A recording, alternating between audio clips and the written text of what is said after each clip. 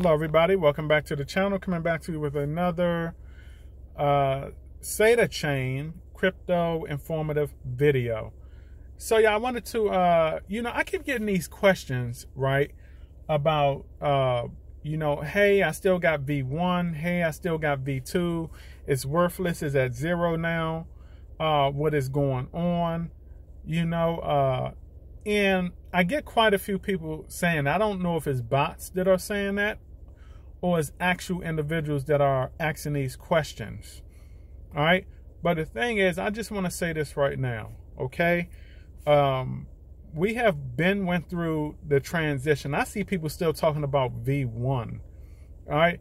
That shows like how uninterested individuals have been in the crypto space. Like if you're talking about V1, okay, and Saitama at the time, uh, uh, which is now SaitaChain, has supposed to bend your investment.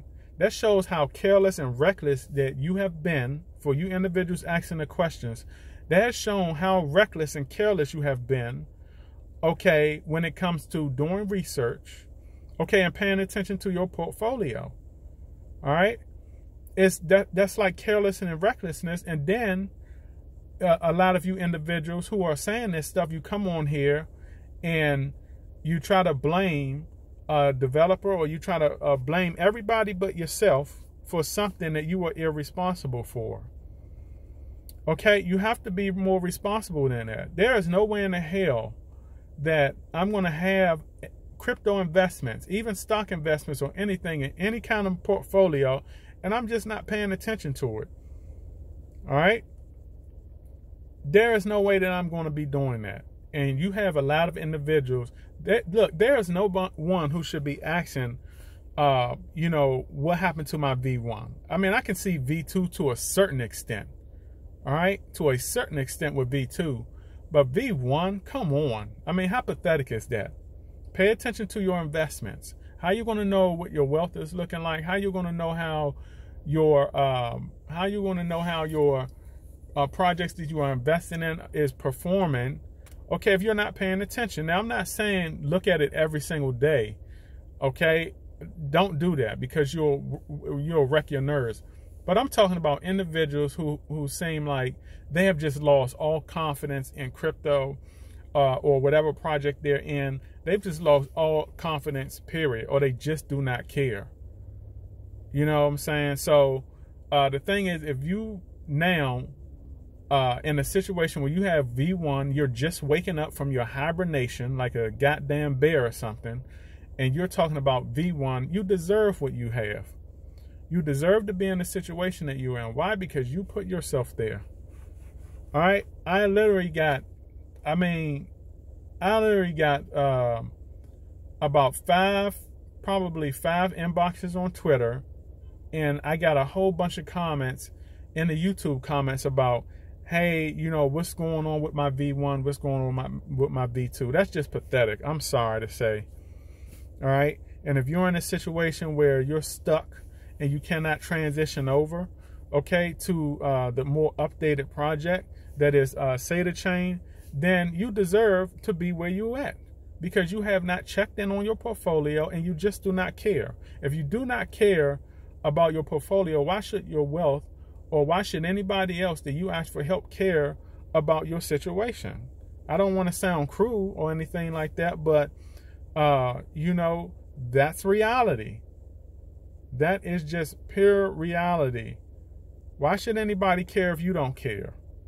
Why should anyone help you if you don't even want to help yourself? You want to hibernate, you want to hibernate and be under whatever rock you've been under for the last year and a half or whatever you've been doing and then you want to wake up, like I said, like a, like a goddamn bear or something, and then come ask ask what's wrong with your V2.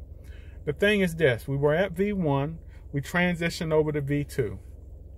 All right, when we transfer when we transitioned over to V2. Uh, Russ was still on the team back then. Uh, there were a lot of announcements made that there were going to be a do-it-yourself uh, migration tool that was available to all of the investors. All right, it was available. All right, and you had individuals with small amount, right? That was uh, that could transition themselves over or migrate themselves over. Um, you even had individuals paying uh, more than what they had just to migrate over. All right, just to have their uh, because it's an asset. At the end of the day, it's an asset. It does not matter that you have to pay more to migrate over than what you have in your wallet. At the end of the day, the prices that you see for a lot of those cryptos are not going to be those prices 10 to 20 years from now. All right? It may cost you uh it may cost you a hundred dollar it may cost you two hundred dollars to migrate over that hundred dollars worth of uh crypto and you might say nah it's not worth it but shit you don't know what that hundred dollars that hundred dollars could be uh, five, ten years from now could turn into maybe five to ten thousand dollars. And you don't get that wealth all because five or ten years ago you were too much of a cheap ass to spend two hundred dollars just to migrate over a hundred dollars that will bring you that will have brought you some kind of wealth uh, down the line. That's the issue with a lot of you individuals that complain. You think too much into the now, you put too much stock into the now, and you act like there's no such thing as the future. Okay? You act like five to 10 years from now is not going to come past. Whether you are here or not uh, in between that time, that time is going to roll past. All right? And what you do uh, right now will determine your wealth, okay, your generational wealth and financial freedom, uh, you know, 5, 10, 15, 20 damn years from now. Why do individuals pay so much attention to the now? Do you know the now will be history tomorrow. All right. I'm talking to y'all today on, you know, this video, but tomorrow, even when I shut this video off and push in record, it's history already. You understand that? This video is not now forever. Okay. And that's, y'all have to have an open mind. For the individuals that are complaining, you have to have an open mind. You have to know that there's a such thing as the future.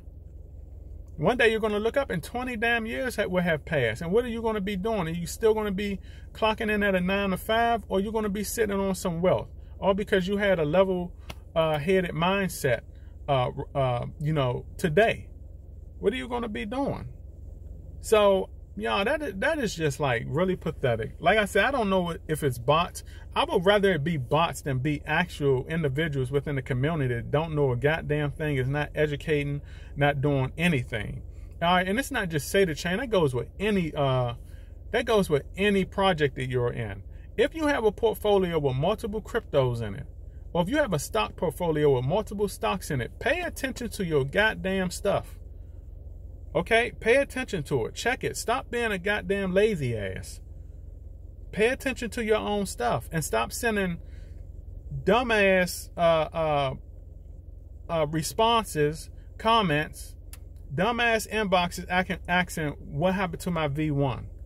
Okay, y'all shouldn't even be on V1.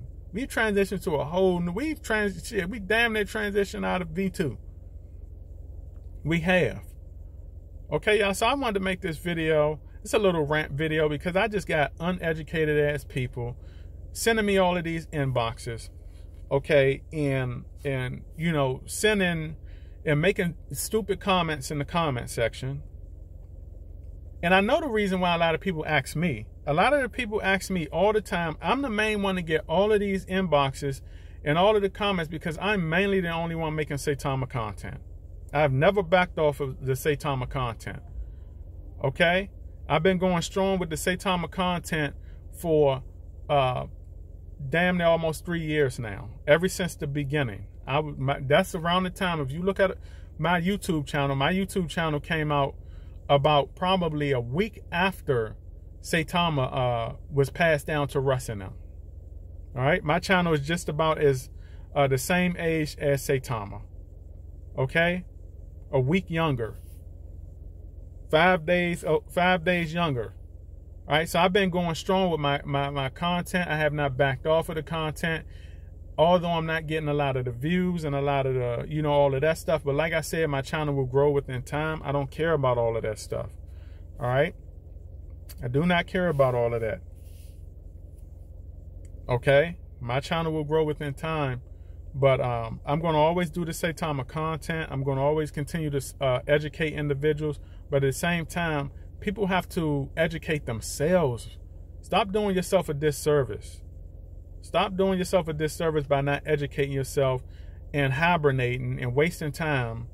Okay, because number one, if you hadn't to waste time, you would have known that uh, you know we've been migrated over like twice.